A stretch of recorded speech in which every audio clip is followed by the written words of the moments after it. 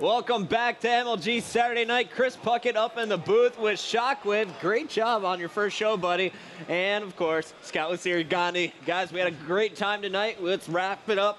First matchup, Scott, what did we see? Well, we watched the domination of FB. They came in, I put them as first, and I'm very happy I did because they look extremely impressive. Final boss moving on to our winners bracket finals, and of course they'll be facing off against Instinct, who we just saw take down status quo, Chris. Yeah, well, the first two games were a little close, actually, with uh, status quo definitely taking the second one by a lot, but that just awakened an Instinct team that's been lying dormant all tournament, I feel like, and they just dominated those last two games. All right, so that is going to do it here for us up in the booth, but the show's not over. Let's send it down to the Old Spice report with Julie and DMAC.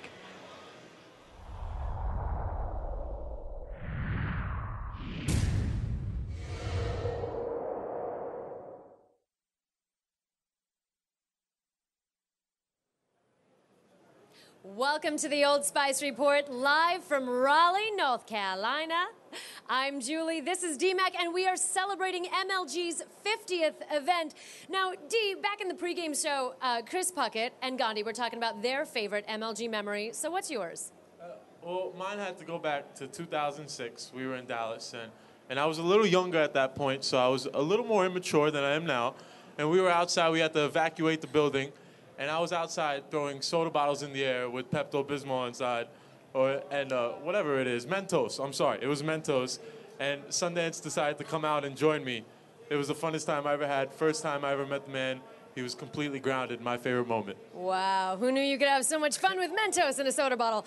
Okay, talking about tonight, we saw some amazing matchups. They did not disappoint. We saw a very confident final boss take on Believe the Hype and sweep them 3 0. And in our second match, we saw Instinct take on Status Quo 3 to 1. Uh, yeah, and when you look at Final Boss, they came out as confident as they ever have, and they were as good as we thought they would be. Final Boss was extremely, extremely solid all the way around. And then on the other side, you look at Status Quo. Status Quo, they came in and they put in a good matchup against Instinct.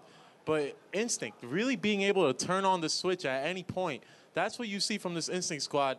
They've been consistent for quite some time now. Absolutely. Well, let's take a look at the bracket up until now.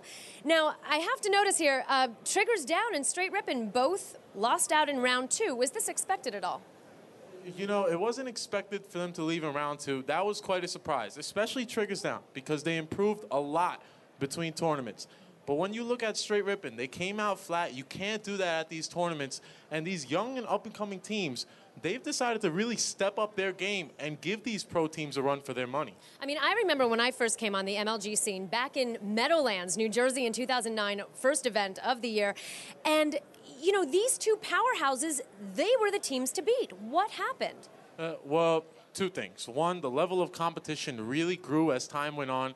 And the second thing, you know, team changes have been through, and, and it's not quite the same team, and it takes a long time. These teams, they're fairly new. You have to understand that. So they have been together for, for a long time. Straight ripping, they have quite a long ways to go. Maybe they'll get it together by the end of the season. And Triggers Down, I think they'll bounce back tomorrow. I think Triggers Down will bounce back tomorrow. I'm going to say that. All right, and I also can't help but notice the absence of carbon. Yeah, that's another surprise. It's surprise after surprise after surprise here in Raleigh, and and Carbon's another one. Um, when you look at Carbon, not quite the squad. They don't have enough firepower. Not quite the squad, but yet they're made up of all stars. Uh, you know, all stars in their own right. You have two captains on the team, Walshy and SK. Naded can't be the only Slayer on his, on his own. He just can't do it by himself. And Defy, he didn't really impress me this weekend either. They all have to step up their game. They have a chance to make it to the top eight tomorrow if they play well, but it's a long road ahead. All right, and looking forward to tomorrow, Victory X gets his wish. It's Final Boss going up against Instinct. Is it surprising to you at all that Final Boss made it this far?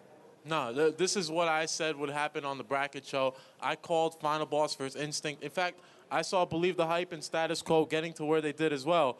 But this is Final Boss's turn. When you look at what Final Boss has done in between events, they took the same team and they became a lot more fluid. They put in the practice. Ogre 2, he really wants this win. The second event MLG ever had, he took a first place finish. He would love to come to the 50th event. and show that he could still come with a first place finish. That's longevity at its finest. And I think he even said to me, he said 50, 51, and 52. That's what he's looking for. All right, we are going to take a quick break. When we return, we will be joined by Elamite from Instinct. Stick around. Old Spice Odor Blocker Body Wash is so powerful it can block B.O. for 16 hours. Its blocking power is as powerful as me. Yeah, it is. Who said that?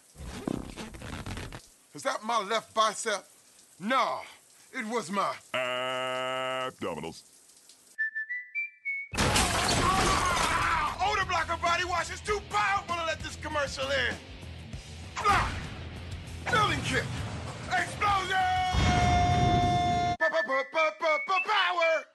Hello, ladies. Look at your man. Now back to me. Now back at your man. Now back to me.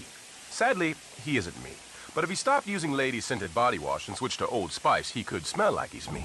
Look down. Back up. Where are you? You're on a boat with the man your man could smell it.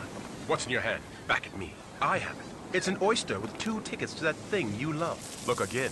The tickets are now diamonds. Anything is possible when your man smells like Old Spice and not a lady. I'm on a horse. Welcome back to the Old Spice Report. I'm Julie. He's DMAC, and we're being joined now by Elamite on Instinct. Congratulations. Do you get a minute to relax, or are you already looking forward to Sunday?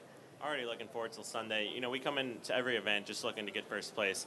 So, you know, everyone's just a, a roadblock, you know, a stepping stone to getting to that first place win. And now you talk about first place, and you, you did it two times this year already. But you guys don't look as confident as you have in the past. I've noticed it. I think a lot of other teams have noticed it. You saw Roy in the pregame talk about how you guys weren't as sharp. Now, looking forward to final boss, is it because you're scared of final boss tomorrow, or is it because the competition has grown? What is it?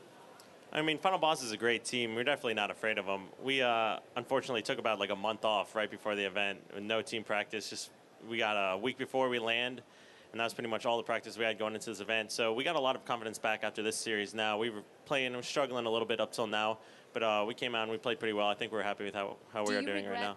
Resting on your laurels and taking that time off? Oh, absolutely. We were just busy. You know, people, you know, conflicts, schedule conflicts, couldn't get on to practice. But, But as soon as you put your gunners on, you were ready to go. oh, absolutely. Now, let's let's talk about you just beating your, your little brother Ace again on status quo. You've done it multiple times. What are you looking at the rest of the teams? Who's going to surprise you tomorrow, aside from just Final Boss and Instinct? Besides Final Boss and Instinct, uh, I'm looking for Status Quo to come back and you know do pretty well. Uh, I think we're just like that anti-SQ team. You know, they just can't can't get over the hump and take us down. You think your little brother just takes pity on you and, and decides to throw the game? No, he's just not as good. Wow. Sounds like a little sibling rivalry. All right, well, thank you so much for joining us. We look forward to seeing you tomorrow on Sunday.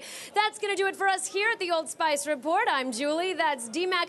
Be sure to stick around. There is much more action to come on the Big Flex for Free for All coming up next. Good night.